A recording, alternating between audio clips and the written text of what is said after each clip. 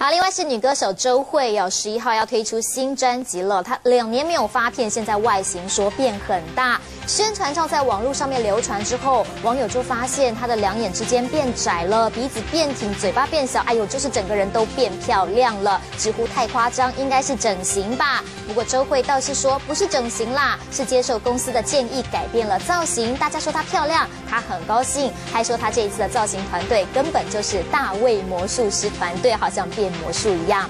不过是。